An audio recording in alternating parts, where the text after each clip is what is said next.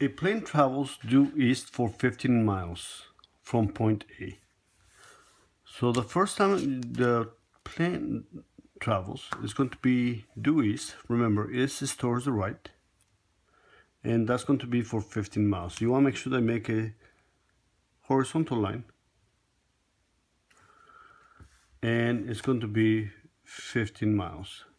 Now you want to make sure that your drawing is big enough. If you want to do your drawing in a separate piece of paper, that way you can easier see the angles and the triangles, you can. Just make sure you staple it. The plane then travels for 7 miles at bearing of 142. So this is where it started, this is point A. And after here, since it travels at bearing of 142, you want to place your X and Y axis. So I'm not going to create a dash y-axis and my x-axis to continue being dash. Because you want to be able to rotate from the north whenever it's a bearing you want to go from the north towards the right.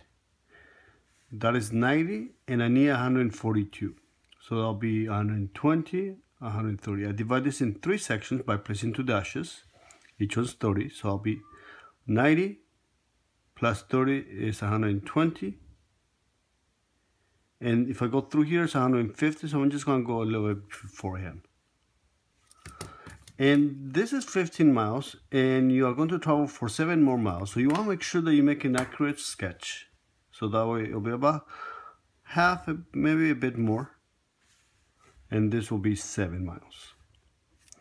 This angle here from here all the way around will be 142 degrees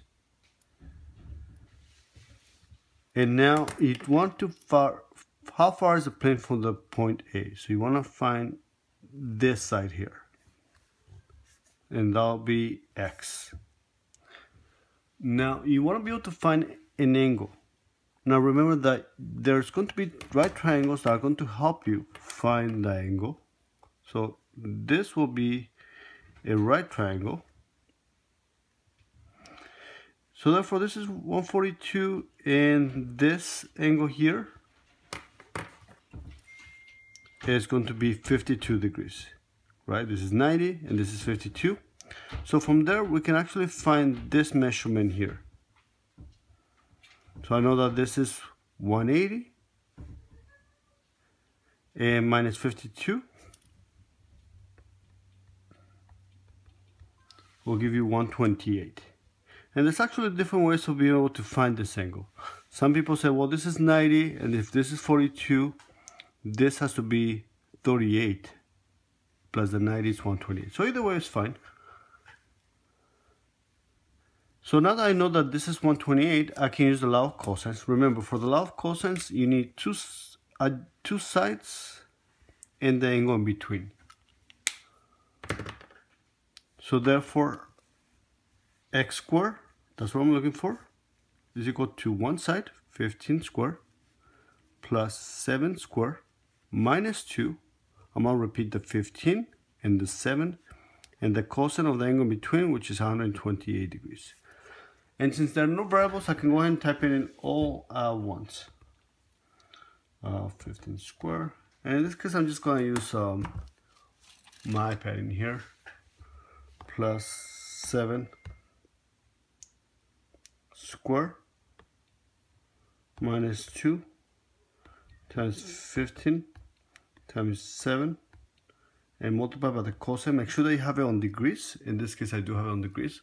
Multiply by the cosine of 128. And that'll be 4, 3.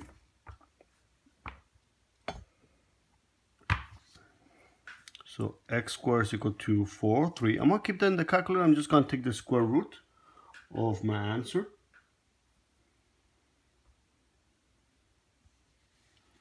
My square root of my answer.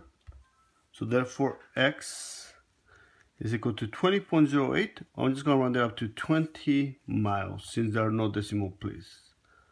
So therefore the, the plane is 20 miles away from its destination.